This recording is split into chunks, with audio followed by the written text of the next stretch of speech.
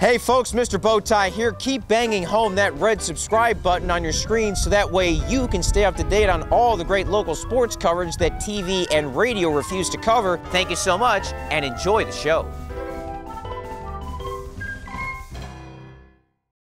44th annual Fraulein Volley Fest in New Braunfels, 32 teams from around the area and across the state, and most of the 136 matches were outstanding. Third place, a pair of Austin area teams as Austin Lake Travis took on 5A state semifinalist Dripping Springs. Lake Travis had a really good tournament despite missing several players, and they were able to put on a couple of big runs to beat the Tigers 14 and 15. Tigers beat district rival and host school New Braunfels Canyon back in the quarterfinals finals, all those teams will certainly be a factor in the state playoff race, which will start in two months. Gold medal match Arlington Martin taking on San Antonio Clark. Amy Wagner promoted up to head coach, and Melissa Miller headed over to Smithson Valley. Martin beat Clark earlier in the tournament, and the Warriors came in having not lost a match in the tournament and dropped only two sets in the Fraulein Volley Fest. Clark beat a pair of state semifinalists San Antonio Reagan, a district rival, and Dripping Springs to reach the final a good matchup between the DFW and a team from the strongest volleyball district in the area. Let's check out how things played out.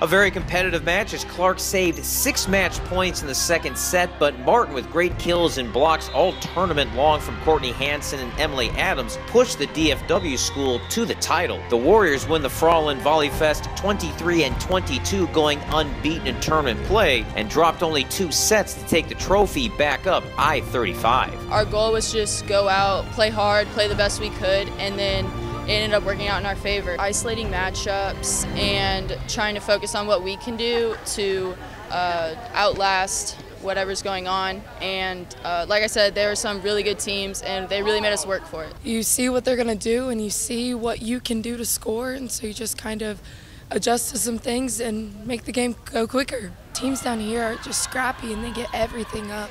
And so it's great to uh, see some more defense-oriented teams rather than all the offense-oriented teams that we see down or up in the Metroplex. So it's just a different kind of game, but it's all competitive and it's great for playoffs and it's just stuff in the future. It's good that we know we can hang and uh, keep up with this competition, but also we know we still have a lot of work to do um, in getting there. So just getting back in the gym uh, with a lot of confidence and working hard to keep getting better. Clark still played outstanding in the tournament and will be a contender in 28-6A with Reagan and Brandeis, and a lot of positives to take from the match for a team with a new coach and a lot of youth. I think it was awesome that we were able to go as far as we have gone. I know a lot of people didn't have a lot of faith in us coming into the season. We're young. Thought it was a really great like team bonding tournament and we really came together. They had a lot of things we hadn't seen this season, and so I thought it was good to like get it all out and everything before district starts and I thought Martin was a really great team and we played really hard.